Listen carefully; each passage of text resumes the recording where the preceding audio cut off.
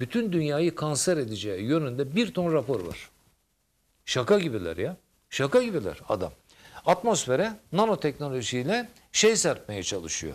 Ee, tebeşir tozu 35 devletin bir arada hazırladığı bir Fransa toprakları üzerinde e, yapı, ye- yeri hazır olan yapay güneş teknolojisi programı var. Çin'de şu an yapay güneş, yapay ay e, projesi hayata geçti. Senin buzdolabın seninle konuşacak iki yıl içinde. Alacaksın. Robot, temizlik robotu alacaksın. Ben aldım. Söyleyeyim ben aldım. Evden komut gönderiyorum dışarıdan. Evi tanıdı, temizliyor, konuşuyor.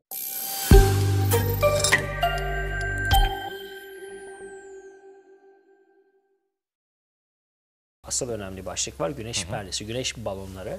Bill Gates'in e, projesi. E, gündeme düştü o. Görseller de var. Nasıl çalışacağı ile ilgili şekiller var. Evet, bakıyorum. E, asıl amaç nedir? Yani güneşe bir perdeleme, işte belli tozların e, atılmasıyla bir set oluşturmak, oradaki güneş ışınlarının dünyaya ulaşmasını bir şekilde engellemek. E, yine reklama gitmeden önce söylediğim kelime. Yani büyük resim.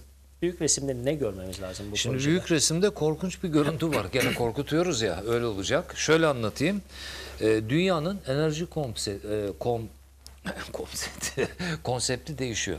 Yani şimdi şu e, basına petrol türevi, çıkan petrol türevi yakıtlar, petrol türevi yakıtlar yerini e, hani yeşil enerji dediğimiz aslında onların bizi kandırdıkları da aslında hadi öyle diyelim yeşil enerjiye geçme niyetleri yok da başka niyetleri var.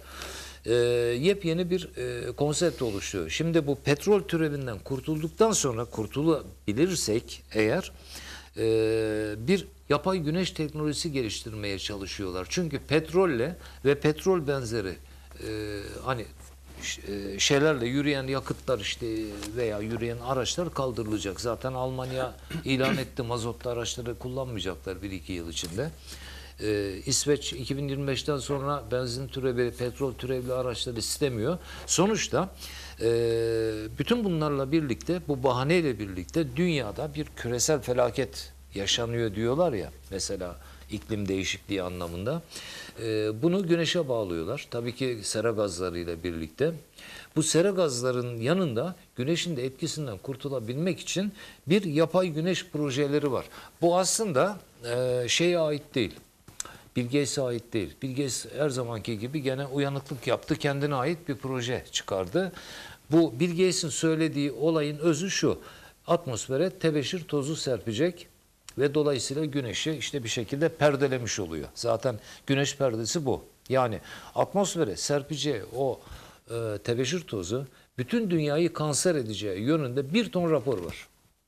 Şaka gibiler ya. Şaka gibiler adam. Atmosfere nanoteknolojiyle şey serpmeye çalışıyor. Ee, tebeşir tozu. Ayrıca da şunu söyleyeyim.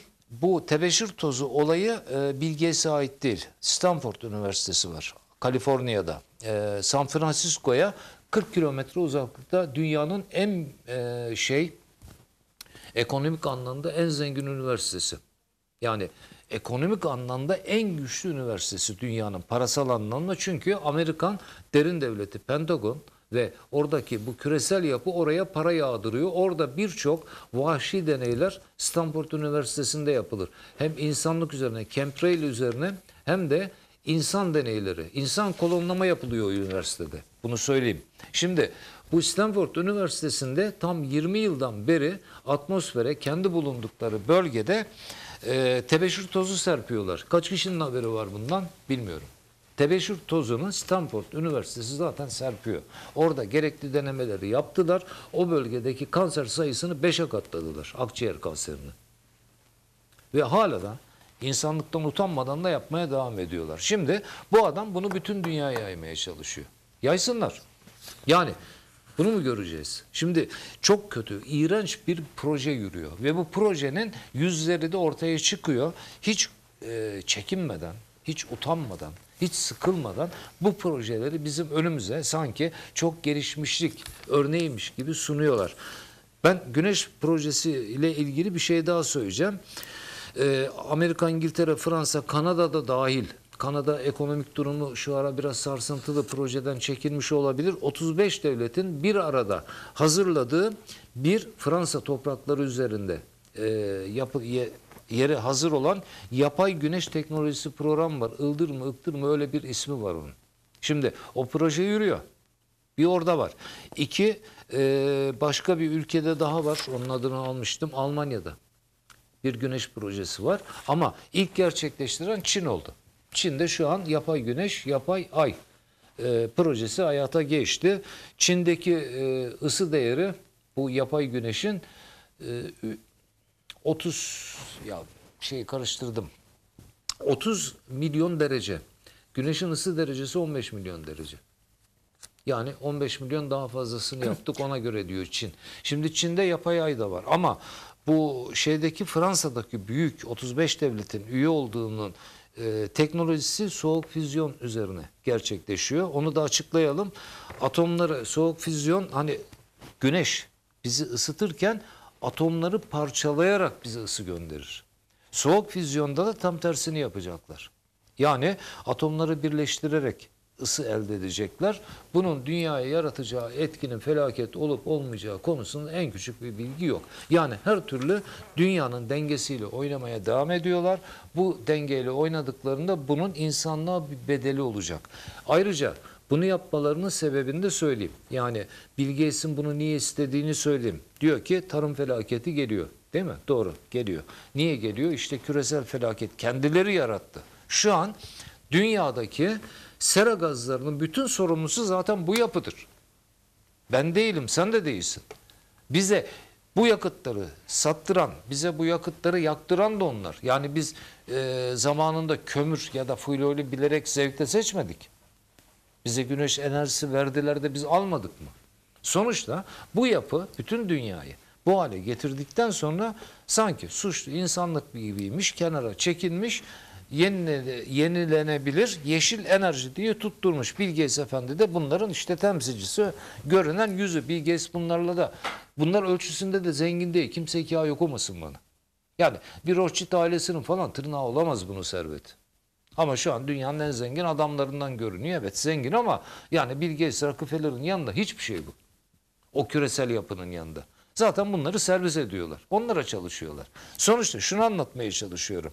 Ee, şeyde bu projenin temelinde dünyanın e, dijitalizmin bir parçası bu. Çünkü güneş projesiyle birlikte insanları da yöneteceksin. Bak her şey geliyor gene insana, insan zihnine ve kontrol etme olayı var ya dijitalizmle birlikte. Bütün aletlerimiz internete bağlı. Hayır mı diyorsun? Yakında senin buzdolabın seninle konuşacak iki yıl içinde. Alacaksın. Robot, temizlik robotu alacaksın. Ben aldım. Söyleyeyim ben aldım. Evden komut gönderiyorum dışarıdan. Evi tanıdı, temizliyor, konuşuyor falan. Tamam mı? Hepsini alacağız. Hepsini bize aldıracaklar. Ve aldırdıkları için bunların hepsi internete, yapay zekaya, merkeze bağlı. Telefonlar zaten elimizden düşmüyor. Ve daha da şöyle bir şey söyleyeyim. Güneş teknolojisi de bunların parçası olacak. Eğer bir devleti cezalandıracak mı, Afrika'yı yok mu edecek, güneşini kesecek. Hani biz diyoruz ya elektriğimizi kesecekler. Daha büyük bir bela başımıza getiriyorlar. Ayrıca da bu güneşi perdeleme olayının bedeli zaten birçok doktorun raporu şeyi var e, uzmanın. Yani insanı insanlığı direkt toplu halde kanser yaparsınız diye. Ama bunların umurunda değil ki o. Bunların İklimle- umurunda değil kaç kişinin öldüğü. İklimle oynamayı seviyorlar. O Denver'daki projede öyleydi. Bir anda Tabii ki 30'a yakın kaç dereceydi? Soğudu birden. e, 30 derece bir gecede. Bir gecede de 2 saat içinde. Harp da onlardan birisi mi? Bu silahlardan birisi mi? Tabii ki. Yani bak harpın e, kuruluşu çok e, Programlarda çok fazla işledik ama hani bir dönem fazla konuşunca ama yani e, insanların bir tabii durduk devamlı etmedik ama yer yer e, konu içerisinde geçiyor. E, Ya, yine değinmek istiyoruz. E, biraz da harpı dinleyelim hocam sizden. Son e, yönetmenin beni bir 10 dakika kala uyarırsan da e, şu gelecekteki aile e, Evet. konusuna da değinmiş oluruz. Ya bak şöyle İnsanlık ne anlatayım. Ee, Murat, e, UKASA denen bir projeden bahsediyoruz. Harp aslında harp teknolojisi değil. UKASA adıyla kuruldu. UKASA adıyla kurulduktan sonra buraya gene e, garip biçimde Kanada, Avusturya bir de Yeni Zelanda, İngiltere, Amerika'nın ortak olduğu bir proje. Ben anlamıyorum e, Kanada. Bütün rezilliklerin içinden Kanada çıkıyor. Çok modern diyorsunuz ya. Bütün rezillik insanlıkla ilgili garip işkencelerin olduğu bir ülkede e, Hitler döneminde de Kanada'nın adı çok karanlık işlere kalıştı. Kanada öyle akpak bir ülke falan değil. Çok karanlık ve hakikaten geçmişi böyle şeyle suçla dolu bir ülke. Şu anda da suç işliyor her konuda. E, bu projeye de ortaktı. UKASA'ya ortaktı. Daha sonra UKASA harpa çevrildiğinde Amerika diğerlerini devre dışı bıraktı. Bir şekilde bıraktı. Yani tek başına yapmak istedi bu Alaska'daki yeri. Sonuçta bütün dünyada chemtrail dediğimiz yani şeyin iklim mühendisliğinin zaten temeli burada atıldı. Bu çok basit bir sistem. Burada 180 tane şey var. Şu görünen antenler var. İşte görüyoruz burada. Bu antenler ionosfer tabakasına ulaşıyor. Frekans gönderiyorlar. Yani e, elektronik işte manyet e, şey dalgalar gönderiyorlar ve ionosfer tabakasına gittiği zaman oradaki moleküler yapıyı bozuyor bu hangi titreşimde ne kadar yüksek frekansta gönderdiğine bağlı. Onun ayarları belli onların. Oraya oradaki ionosfer tabakasındaki moleküler yapıyı bozup ayna görevi gösteriyorlar. Ve dolayısıyla buradan gönderdikleri o zararlı e, frekanslar yeryüzünde istedikleri bölgeye yansıtıyorlar. En büyük etkisi istedikleri bölgede kuraklık yaratabiliyorlar. Sıcaklığı çok artırıyorlar. Karlı bir bölgede bir anda erime yaptıkları için o ülkeyi sular altında da bırakabiliyorlar. Artı yetmiyor. Ee, deprem etkisi var. Her ne kadar e, bazı deprem bilimciler hayır dese de arkadaşlar önce harp teknolojisinin nasıl çalıştığını soracaksın. Harptan haberleri yok. Hele bir tanesi harp diye bir yer yok diyor. Televizyonlara çıkıp şarkı türkü falan da söylüyor. Tarihçi de oldu o şişman arkadaşımız. Bir tane var böyle her şeyi biliyor ama harptan haberi yok. Harp teknolojisi yok diyor. Yani garip bir ülkede yaşadığımız için orası harp teknolojisi e, Google'a bir e, Google harita girse orada Alaska işaretlediğinde zaten çıkıyor. Bu antenleri görür. Büyük ihtimal bunlara radyo anteni falan diyecektir. Şöyle anlatayım. E, bu teknolojiyle e, 2011'de Rusya'yı kuruttular. Türkiye ile de oynadılar. Türkiye bir sesin yani bilmiyorum onu rapor etmesi lazım bilemiyoruz bir şey demiyorum.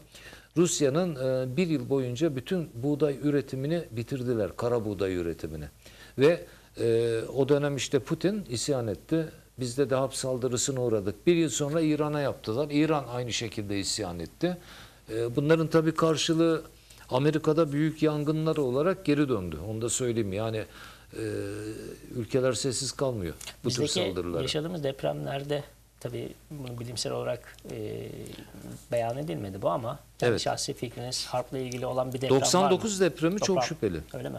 99 depremindeki o kırılma e, olayı evet bekleniyordu. Bak ben 1991'de gazetedeyim o dönem işte en büyük gazetelerinden birindeyim. E, o dönem bizdeki deprem uzmanları bir rapor verdiler devlete. Ben o raporu Yani okudum. olağanüstü bir şey mi dediler? Ee, Yani bu büyük bir fay deprem geliyor dediler Ha. 91'de ve biz ona ambargolu haberde okuduğumuz için haberini falan yapmamız yasaktı. Yani sadece göz, biz gördük ama yayınlayamadık. Ambargolu haber deriz biz ona. Ee, ta o zamandan haberim vardı. Ancak e, hani kırılış şekli, oluş şekli 99'daki e, o geminin de buradan geçişiyle birlikte dikkate alırsak şüpheler taşıyor. Van depreminde de aynı şüpheler var. Ee, tabii ki bu en son İzmir'de arka arkaya yaşanan depremde de aynı gemiyi gördüğümüz için yani o tür bir gemi gemide Ege'de. tabii ki e, Amerika'nın parmağı var mı olayı çok ciddi biçimde soru Evet. önümüze çıkıyor.